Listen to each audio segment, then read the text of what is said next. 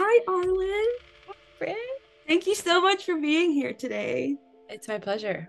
Have you heard of the podcast? Have you heard of what we do? Anything? Well, my agent wrote me way back when when I was um in the dead of taxes and all this other stuff, and I was like, "This sounds amazing." Thank you. And yeah, I can't believe there's this huge library. There is, yeah. All these so, scripts. It's great. yeah, so we uh, we I started the uh, podcast basically to make it more accessible for everybody. I love that. Uh, for people that maybe are not able to read or have a hard time reading or are dyslexic or that. so yeah. we wanted to make sure everybody would be able to dive into the world of Motherland Fort Salem fan fiction. So that's what we did, and uh, now we're here, and it's huge. it's a, oh another full time job, but I love it. Okay. So um, I decided to reach out and see if basically I wanted to um, thank my readers that are putting in the work to get these stories out there and my uh, the listeners that keep this going and so that's pretty much why I asked you to come and talk to me so I can give it back to everybody that loves you so much. So, oh, so again, so honored. Much.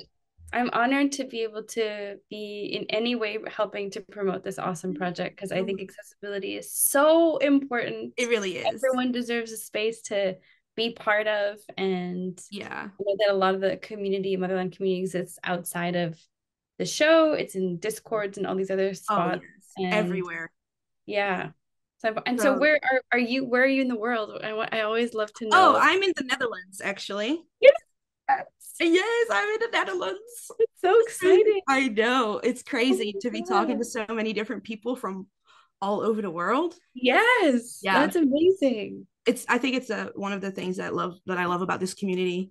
Mm-hmm. I have so many mm-hmm. friends within this community that are all over the world and we have like weekly meetups and like we just talk every day and yeah. Oh. So that's another reason why the the fan fiction to me is so important because it keeps the show going even yeah, though it ended.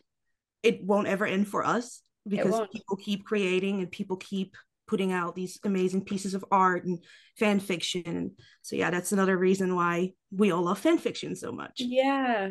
And also yeah. fan fiction does get produced. It does turn into things too. So yeah there's, there's several uh, i don't know in the motherland fort salem but in other fandoms it like they actually got to like publish their their works after yeah.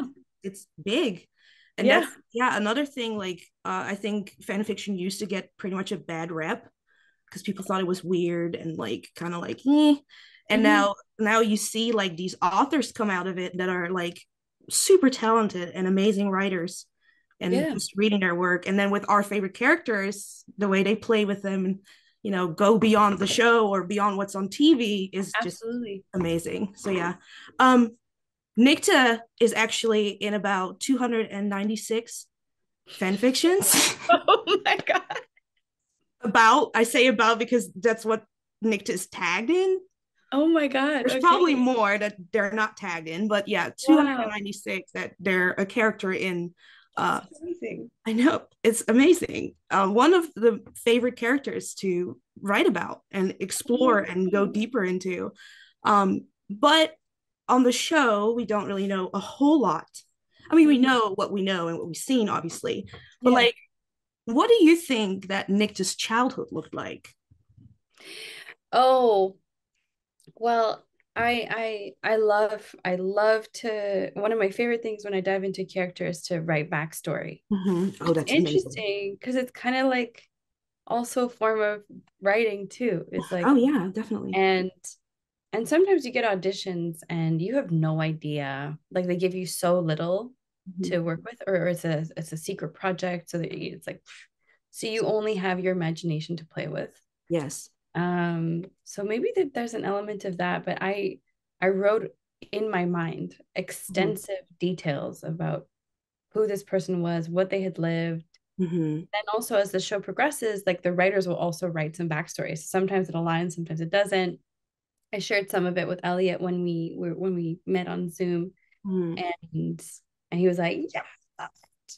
Um, because I wanted to understand the darkness, and I think that um everyone goes through pain and all kinds of things. Oh yeah. And maybe that's why people have connected to Nicte, because um there is a complexity to that to that darkness mm-hmm. um and um i definitely connect to it personally in some Same. ways yeah and um whether it's actually written the page like you said like i i try to portray what i've created mm-hmm. and share yeah um so her childhood uh, i saw it as a very kind of like um more challenging childhood without having access and closeness with her parents and what had happened between her and her parents.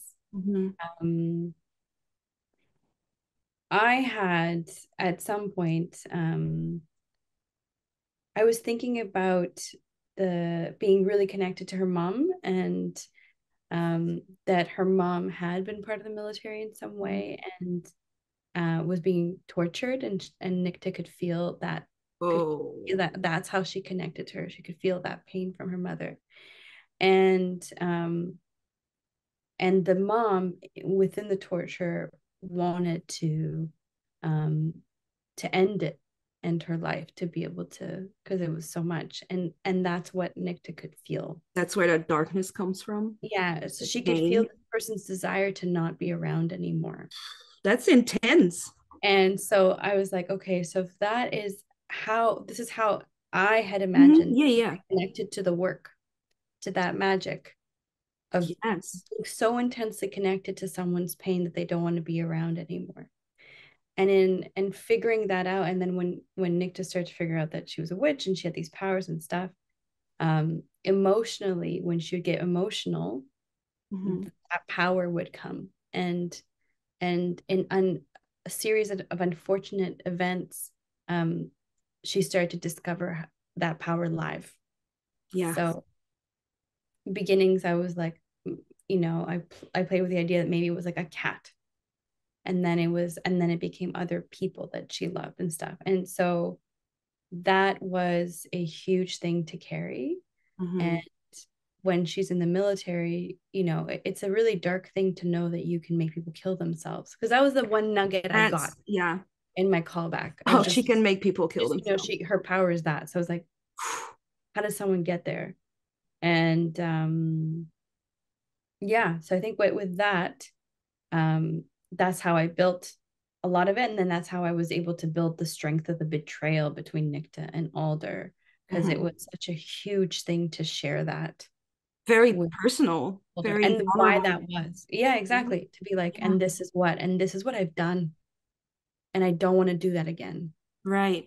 And um and so when she feels that betrayal from Alder from someone she idealized, someone that she connected to on so many different layers of mm-hmm. levels um, it really, really tears her apart. And I think that's interesting when you look at like cycles of abuse and violence and stuff like that. Sometimes you end up doing the thing that hurt you. And so I think Nicte really didn't want to ever do that again, but in some way you get kind of lost in that too. Yeah, you get lost in that darkness too. Yeah. Yeah. So that was what I had built for her in her childhood. And in my in my creation, I had also written that she had accidentally um, killed her dad through the, in an argument. So it's just like it had started small, and then it was just like you know you don't got darker and darker as so it, it went. Just it was huge, and so yeah, and then you couple it with the writers when the writers wrote about her grandma i was just like okay yeah this still like it still works you know it still works yeah. in my mind um uh but yeah i think that no one is a villain for no reason or whatever it True, means to be yeah. there's always something there and and i i have a huge belief in the capacity of people to change and grow and so i hope that whatever i was able to give to the character was the nugget that there is a there's a sliver of something right.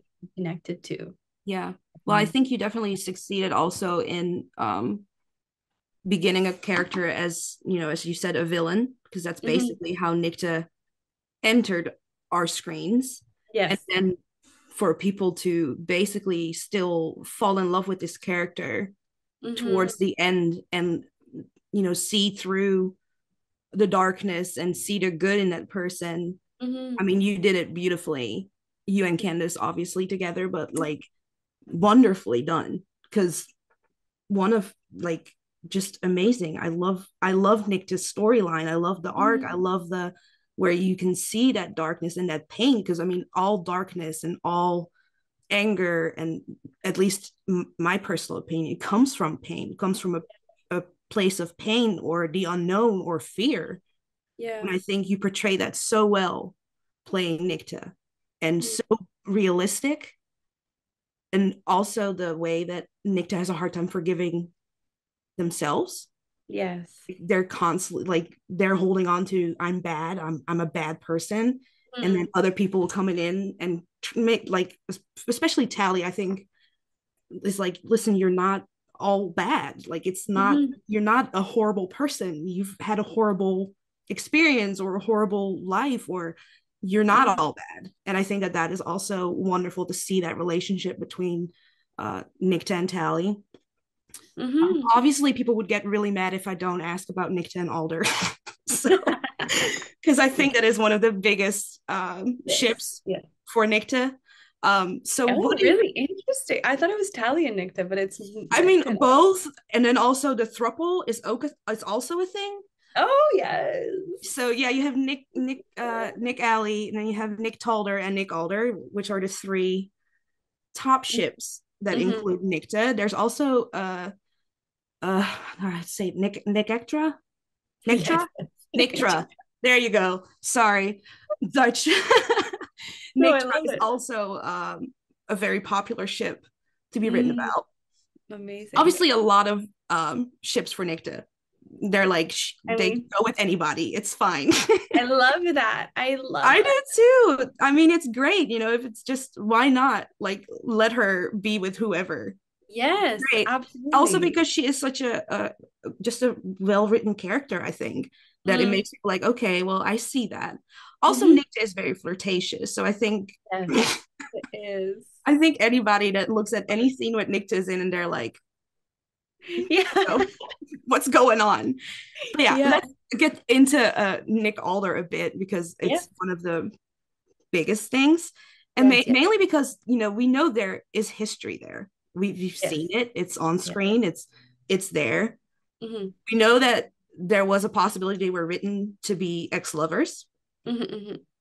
do you think that that's accurate did you play Nicte with that in mind honestly when i got when i had built the whole thing like i initially i had written it as um in my mind mm-hmm. is that there was like an idealization of this person i knew that in the script it said that this person was what Nicte wanted to be because mm-hmm. I got the sides for the Liberia. Mm-hmm. Um, and uh, so I was just like, you know, there's also an element of motherhood there too. But all these things get conflated too. Like, you know, a lot of your childhood traumas are also attached to your biggest attractions. Mm-hmm. And um, and then I got on set and Lyne and I connected and it just it was just organic like the the intensity between us and the connection because i came with the Nicte that i'd built and there was this you know really kind of more scared mm-hmm.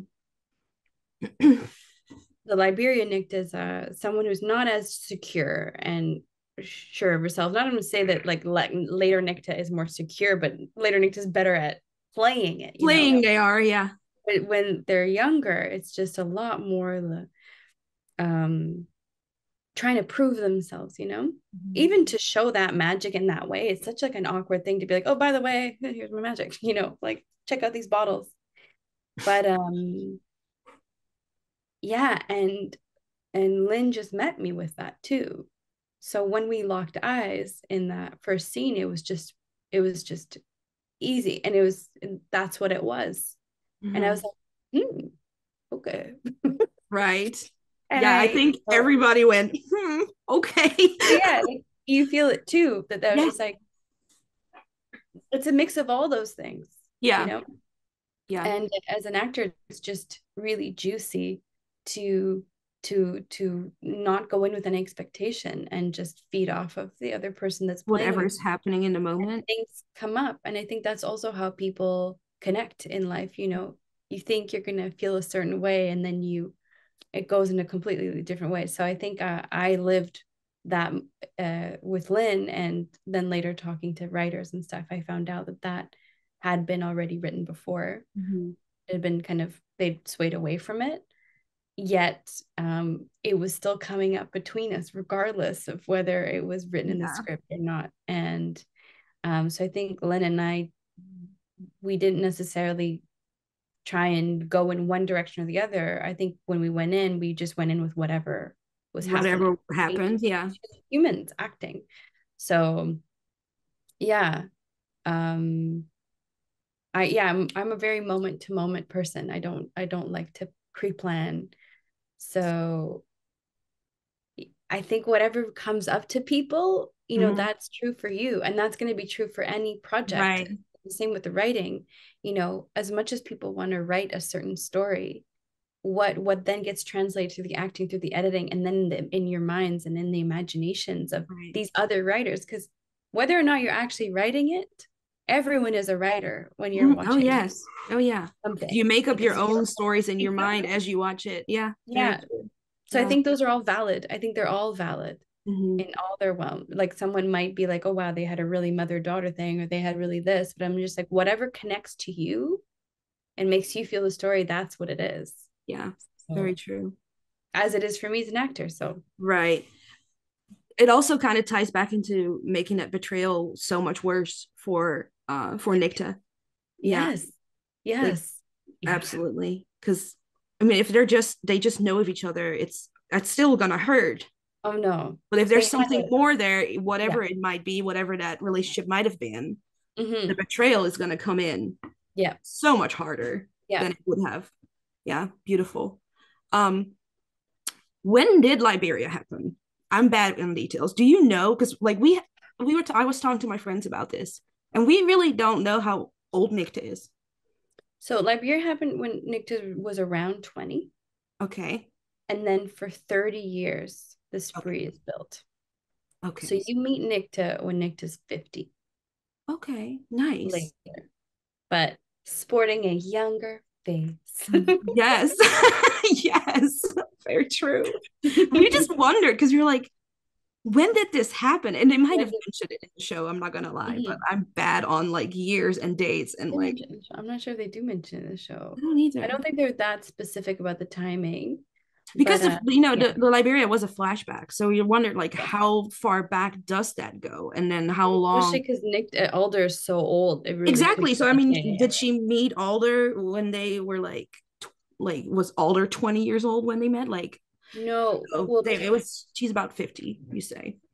Timing wise, this is when um when enslaved black witches were were getting freedom. And so that that in the history, I mean, there's a mix of like ties to our own, mm-hmm, to our own history, but this is when people were were gaining their their freedom and right. uh and yeah and then they were sent on the mission to g- recruit these witches. And these witches were like hell no. Hell no. Be free. We don't want to yeah. be in the military right now. Right. And, and yeah so that's timing wise so i don't know what that aligns uh, with our time but um well i mean if she in the show she's at the end of this series she's about 50 yeah. Oh yeah. Yeah. So right? yeah, she's yeah. 50 in her 50s. Yeah. What do you think Nicte did right after 310? Because the last time we see Nicte, yeah, they're walking off with all that. Just saying. Um, and then everybody became a witch. Yeah, everyone becomes a witch. um, I mean, so what's I, Nicte up to? what's Nicte up to? Well, Nicte's gonna work for Wade. Oh, okay like she's kind of like had a little kind of chat with Wade. You see at the wedding, Nick right? Yes, Wade, yes, and yes. Kind of like, yo, I know you're not gonna give me my clear my name, but also like I want to fight this. Um, mm-hmm. what can we do? Right. Yes. Um, but you know, in my perspective, it's always going to be you know, within Nicte's realm of morality. I don't mm-hmm. know if it's going to be military wise, but more kind of like a maybe secret thing. Nicte can change faces, obviously. You know, it's a huge super spy. and has been around and is very well connected all over the world. Mm-hmm. So, um, in terms of connecting people, in terms of getting all that, I think that Nicte definitely could be used to be doing some positive things and seeing as Wade has shown a level of critical thought. Because I think that's really huge for Nick. Yeah.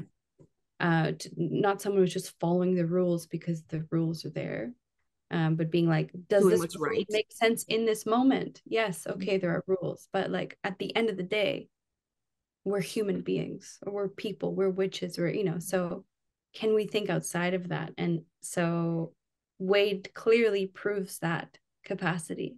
True. Um, to like fall out of the bureaucracy and actually be like, okay, I'm going to weigh moment to moment. So for Nicte, that's appealing to to connect to. Do you think she's trying to use that opportunity to make the wrongs right? I do you think Nicte like thinks she's done wrong?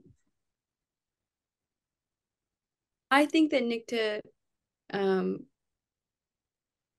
realizes that her methods might have been misunderstood, um, and that that strays away from the goal mm-hmm. of what she wanted. And I think that in season three, she was in the beginning of understanding what act what she actually did because she was so ingrained into it. It was such a big part right. of everything she was doing. Every single day, every single moment, she was thinking this.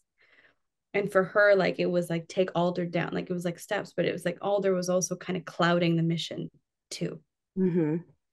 Um, so there's a, I still think there's a lot of space for Nick to grow. I think that Nick just still has to really come to terms with lives that have been lost, specifically in the way that she didn't want them to be lost. Right. And so, and now everyone's a witch. So that, that puts into a whole play about like, you know, what is human, what is witch, who is there's so much to still dig into. Mm-hmm. And if people are going to want to identify as witches, if people are going to be trying to get rid of their witchhood, yeah, know, like what people or people are gonna be like, whoa, this is amazing. When people have all this power, there's so much opportunity. Yeah. And and then there's a lot to come up for Nicte because people that she's killed, families that she's killed are now witches too. So I think there's so much to dig into and and more um for Nicte to to break down and understand about who she is, what what what has been done and what the next path forward is. And I'm not, Arlen is not Nicte. So, you know, I have my own growth in my life. So mm-hmm. I feel like, you know,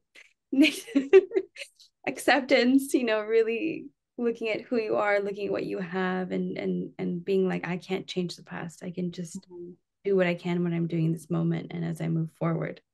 Um, I don't know if Nicte's there yet but um if she's ready for that? yeah. exciting to to to continue to delve into that. Um it's such a it's such an interesting series and there's so many little nuggets so interesting. details. Yeah. So much to like build in this world. So like mm-hmm. i i really understand why fans want to continue seeing more oh yeah. and they do like surface you know has been hit and there's yes. so much I actually spoke to uh, Diana uh, a couple days ago, and we oh, talked about it about this too. I mean, amazing, amazing mm-hmm. woman. Um, and um, they were pretty much saying the same thing that um, you know we you could have we could have gone so much further mm. with this series. I mean, fans talk a lot about spin-offs or like mm-hmm. you know another series that continues where this left of like mm-hmm. call it something else. Don't call it Motherland, but call it something yeah. else. Like because uh, there's so much there's so much still that could be told uh, mm-hmm. uh, from this series which you know which makes it great for fanfic writers because absolutely. dig in people. Yeah. Right you know it's great. keep, keep um if you could see Nicte in any other alternate universe think high school drama think zombie apocalypse think oh my god. I don't anything what would you love to see Nicte in like drop her in a high school drama. How dark could that get? but the question is also like, what period of Nicte? Yeah, you very know? true. Like Nicte like 50, Nicte 20, because like Nicte 20's got some angst. I love Nick Sips Empty also has angst, but it's like a different Give me all the angst. oh my god, Nicte 20. Where could you put Nicte 20? And really mess things up. Really go to town. Go to town. I mean, this is very weird, and it's also just kind of this. I'm just saying the first thing that comes to mind. Yeah, yeah, go for but it. Schmigadoon was filming right beside Motherland when we were filming in the woods. And so we would walk through their set all the time and it's like colorful and all these like really like and it's such a wild wacky world. Um I feel like it would make zero sense for Nick to, to be there, but I think it, it could be hilarious. I also haven't seen this show. I've just seen like trailers for it. And, right. Um like audition sides, but that would be really weird. I'm trying to think other shows that would be um I actually haven't watched television in like six months because I wanted to just like not do television. but, but um so I'm like, what's what's on? What's I don't know. On? Nick Batan and Grey's Anatomy. oh my god! Just oh, I could also think about like other projects I've done. The Good Doctor, Nick Batan and the Good Doctor. Can you imagine her bursting through the doors at a hospital? As a doctor, maybe you know how the Good Doctors like, or or the, a lot of these doctor shows have like center on this like one doctor that's yeah. kind of a misfit, whether it's uh-huh. Or other things or transplant, which I've also done. If Nicte was the doctor, it'd be so weird. but also hilarious. and she'd have her own methods. She'd be like, this no, this is not how we do this. We're gonna do yeah. this my way. So Nicte, this person's unleashed. Should they call it the bat doctor? The bat doctor. Oh, there's so many things to be made there. So That'd be funny. That'd be really funny or like some kind of musical, some kind of like weird like musical, like Hamilton. oh my god, what would Nick do there? That'd be great. I yeah. don't know, just stir things up. yeah, just get things. Yeah, I think that'd be great. Mm-hmm. And we're at our end of our time. Um, we're at our time. I know. Thank you so much. And do you want to come back? I would love to come back. Thank you so much. I would love. I really appreciate it. Anytime, please. Mm-hmm. Yeah, I'll let you know ne- my next round of free free time. Yes, please do. Pleasure. I love so chatting with you.